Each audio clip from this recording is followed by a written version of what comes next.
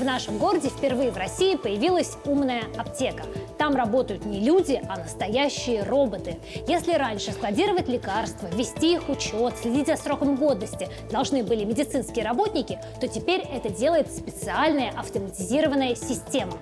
Как это работает и почему это важно для пациентов? Я сегодня приехала в городскую клиническую больницу 67, где эта умная аптека и находится. Все увижу своими глазами. Главный врач городской клинической больницы номер 67 имени Ворохобова Шкода Андрей Сергеевич.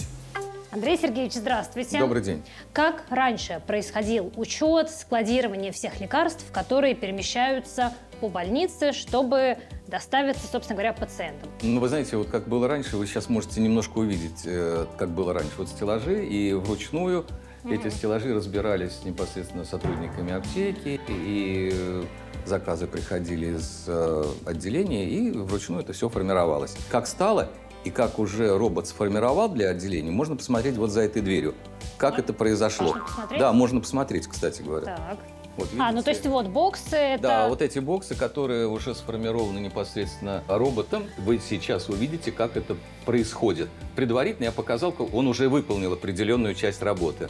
Поэтому, но у него еще предстоит работа, и много предстоит работы. Поэтому я бы хотел вам показать, как это все-таки происходит в Ауче. Ну тогда пойдемте посмотрим, как это все происходит Пойдемте. внутри. Пойдемте, посмотрим. Если вы видели стеллажи, как было раньше, то вместо стеллажей вот находится такой специальный склад автоматизированный, где находятся лекарственные препараты. Здесь 13 полок в этом складе, и можно выбрать любую полочку и отправить целиком коробку непосредственно уже в отделение. А как вот это работает? Мы можем это включить сейчас? Да, посмотреть? можно включить. Вот. И здесь вот таким образом находится, вот, например, восьмая полка, находятся лекарственные препараты, и они могут также уехать сразу в отделение. Мгм, Хорошо.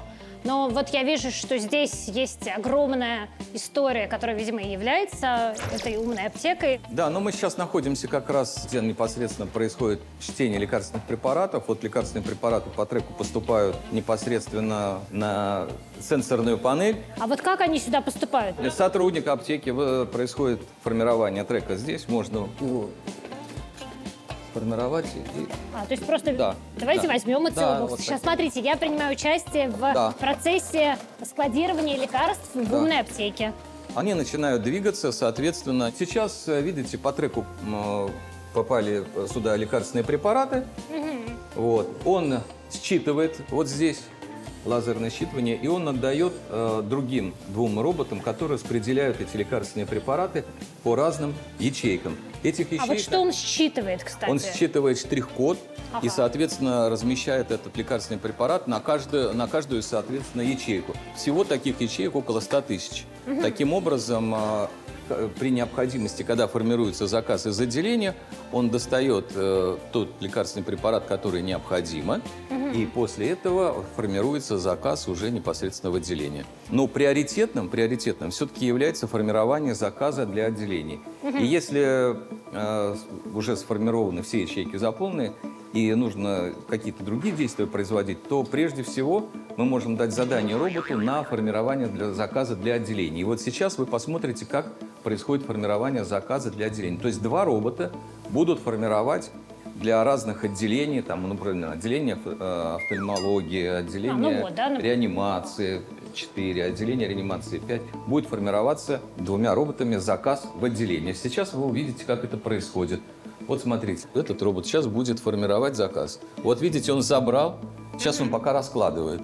Но вообще сейчас будет формироваться заказ, вот он проехал, он должен, он сейчас возьмет, вот видите, он взял, и вот он сейчас формирует заказ для отделения. Ага. Теперь, после того, как он сформирует, он опять, видите, забирает, вот, складывает.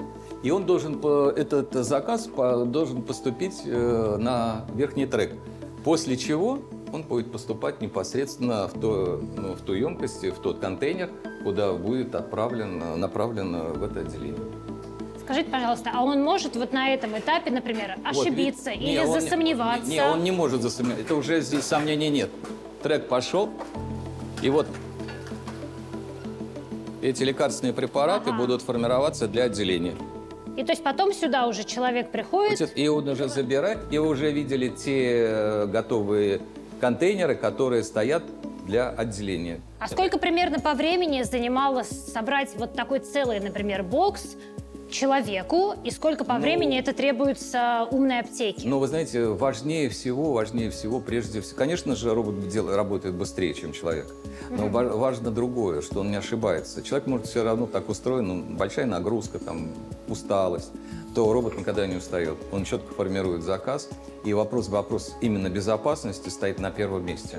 Вот я, насколько понимаю, э, проект «Умная аптека» в вашей больнице пилотный, да? То есть э, Да, это пилот, и он единственный робот на сегодняшний день в Российской Федерации, который именно, так, так скажем, в производственной аптеке, который начал функционировать и работать. Андрей Сергеевич, спасибо вам большое за экскурсию по умной аптеке. Желаю вам дальнейшего процветания и успехов. Пациент и человек всегда на первом месте. Любите себя и свой город, москвичи. Пока-пока!